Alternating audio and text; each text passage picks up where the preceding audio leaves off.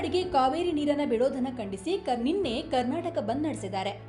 ಈ ಹೊತ್ತಲ್ಲಿ ಉಪಮುಖ್ಯಮಂತ್ರಿ ಡಿ ಕೆ ಶಿವಕುಮಾರ್ ಅವರು ಕಾವೇರಿ ನೀರನ್ನು ಉಳಿಸಲು ಮಾಸ್ಟರ್ ಪ್ಲಾನ್ ಅನ್ನು ಮಾಡಿದ್ದಾರೆ.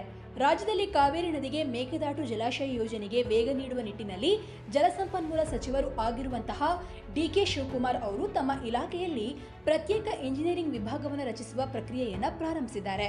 ಈ ವಿಭಾಗವು ಯೋಜನೆಯ ಗ್ರೌಂಡ್ ಲೆವೆಲ್ ಕೆಲಸವನ್ನು ಶೀಘ್ರದಲ್ಲೇ ಪ್ರಾರಂಭಿಸಬಹುದು ಅಂತ ವರದಿ ಮಾಡಲಾಗಿದೆ. ಪ್ರಾಥಮಿಕ ಅಂದಾಜಿನ ಪ್ರಕಾರ ಮೇಕೆದಾಟು ಯೋಜನೆಗೆ ಐದು ಸಾವಿರದ ಇನ್ನೂರ ಐವತ್ತೆರಡು ಹೆಕ್ಟೇರ್ ಪ್ರದೇಶ ಬೇಕಾಗ್ತದೆ.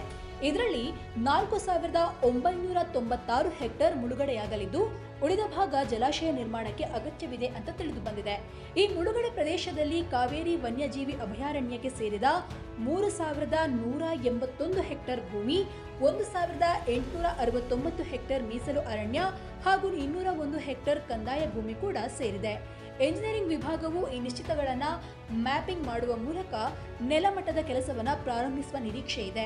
ಈ ನಿಟ್ಟಿನಲ್ಲಿ ಕಾವೇರಿ ನದಿಯಿಂದ ಮತ್ತೆ ಹದಿನೆಂಟು ದಿನಗಳ ಕಾಲ ನೀರು ಬಿಡಬೇಕು ಎಂಬ ಸುಪ್ರೀಂ ಕೋರ್ಟ್ನ ಇತ್ತೀಚಿನ ಆದೇಶವನ್ನು ಗಮನದಲ್ಲಿ ಇಟ್ಕೊಂಡು ಮೇಕೆದಾಟು ಯೋಜನೆಗೆ ಅನುಮೋದನೆ ಪಡೆಯುವ ಬಗ್ಗೆ ಶಿವಕುಮಾರ್ ಮುಂದಾಗ್ತಾ ಇದ್ದಾರೆ. ನೆರೆಯ ರಾಜ್ಯವು ವಾರ್ಷಿಕವಾಗಿ ತನ್ನ ಪಾಲಿನ ನೀರನ್ನು ಸುಪ್ರೀಂನಲ್ಲೂ ವಾದ ಮಾಡಿ ಪಡಿತಾ ಇರುವಾಗ ಯೋಜನೆಗೆ ಯಾಕೆ ಆಕ್ಷೇಪಿಸ್ತೀರಾ ಅಂತ ಸುಪ್ರೀಂ ಕೋರ್ಟ್ ತಮಿಳುನಾಡಿಗೆ ಕೇಳಿದೆ ಅಂತ ಅವರು ತಿಳಿಸಿದ್ದಾರೆ. ಮೇಕೆದಾಟು ಯೋಜನೆಯು ಜಲವಿದ್ಯುತ್ ಉತ್ಪಾದನೆ ಜೊತೆಗೆ ಬೆಂಗಳೂರು ಮತ್ತು ಸುತ್ತಮುತ್ತಲಿನ ಪ್ರದೇಶಗಳಿಗೆ ಕುಡಿಯುವ ನೀರನ್ನು ಒದಗಿಸುವ ಗುರಿಯನ್ನು ಹೊಂದಿದೆ. ಜಲಾಶಯವು ಶಿವನ ಸಮುದ್ರದಿಂದ ರಾಜ್ಯದ ಗಡಿಯವರೆಗೆ ನದಿ ನೈಸರ್ಗಿಕ ಇಳಿಜಾರನ್ನು ಬಳಸಿಕೊಳ್ಳುತ್ತದೆ ಅಂದಾಜಿನ ಪ್ರಕಾರ ಯೋಜನೆಗೆ ಒಂಬತ್ತು ಸಾವಿರ ಕೋಟಿ ರೂಪಾಯಿ ವೆಚ್ಚವಾಗ್ತದೆ ಅಂತ ವರದಿಗಳು ತಿಳಿಸಿವೆ.